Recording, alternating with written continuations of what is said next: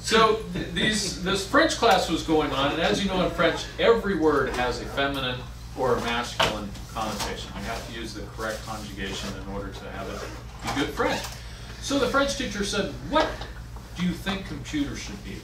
Do you think they should be feminine or masculine?" And the class divided up, and the girls thought of the reasons why a computer should be feminine, and the boys thought of reasons why it should be the opposite.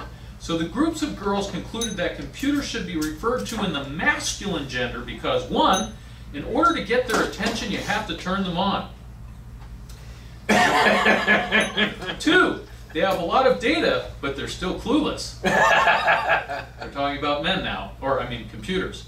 They are supposed to help you solve your problems, but half the time they are the problem. And four, as soon as you commit to one, you realize that if you had waited a little longer, you could have had a better model.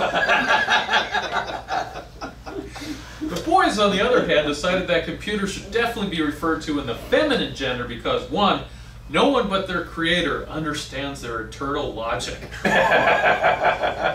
Second, the native language they use to communicate with other computers is incomprehensible to everyone else.